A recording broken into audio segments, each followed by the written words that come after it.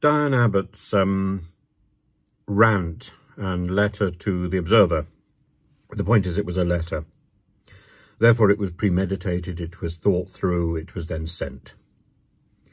And uh, what she was trying to talk about, I suspect, were the levels of prejudice that different people's experience and different people's um, tolerance of that form of discrimination, that form of hurt. But of course, she was absolutely and utterly wrong to reference Jewish people and to say, well, unlike black people, they weren't made to sit at the back of the bus. No, Jewish people uh, were killed in their millions for being Jewish.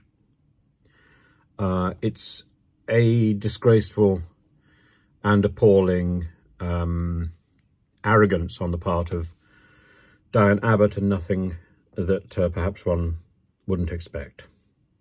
It's thoughtless. It is thoughtless because I don't believe that's really what she thinks. Um, but why should anybody uh, accept an MP of whatever political hue who is thought less? MPs are elected to be thought full and to represent uh, the thoughts of their electorates. Um, in, in fact, they're not even asked to do that. An MP is elected in our system to be thoughtful about the electorate, to be thoughtful about the issues that the electorate faces. An MP is supposed to represent the electorate, uh, not to constantly be repeating what the electorate has told them. An MP is there to think for the electorate, so if an MP demonstrates her thoughtlessness, then not only should she have the whip removed from her party, she should be um, forced to stand down as an MP because she's no longer capable of doing the job. I, I think there is uh, no excuse. She has apparently excused MP for Hackney North, where there's a large Jewish community. But it's not only that.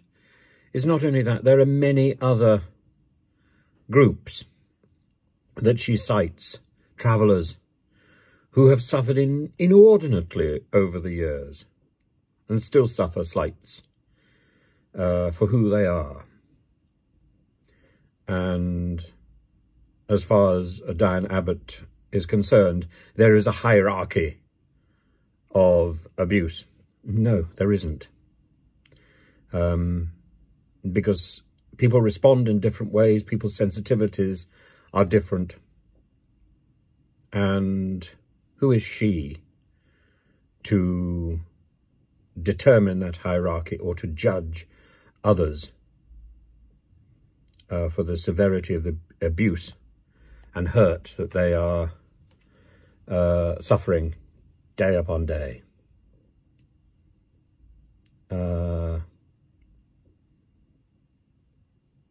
she is wrong, utterly wrong, and I'm delighted that she's been called out.